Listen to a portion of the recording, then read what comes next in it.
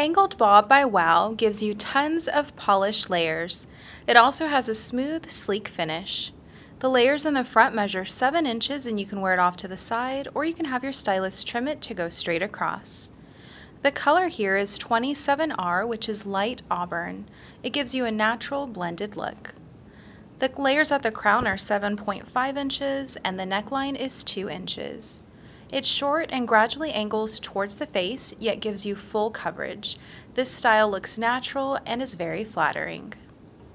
And don't forget to use the proper synthetic safe products by BeautiMark to prolong the life of all of your synthetic wigs.